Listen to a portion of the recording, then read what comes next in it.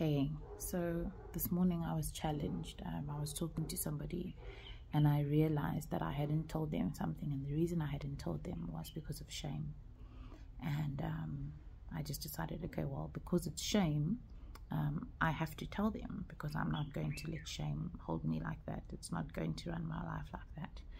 And um, even if you look in Genesis, the fall of man, the first thing that came to man was two things, but shame was one of them. Um, and it was really difficult, but I, you know, I shared it with the person and they didn't respond at all how I thought they were going to respond, um, which isn't really the point. But after that, I really just got to thinking, like, what are the other areas in my life where darkness reigns because I refuse to bring them into the light? Um, and that's the question I leave with you today. Will we choose the kingdom of light um, with which comes grace and love and mercy from the Father?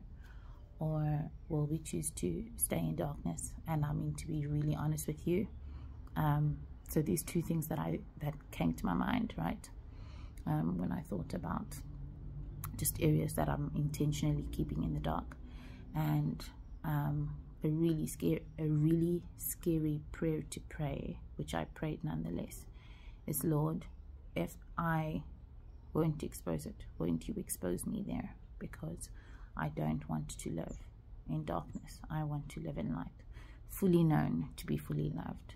Um, if I'm only partly known, I can only be partly loved. And um,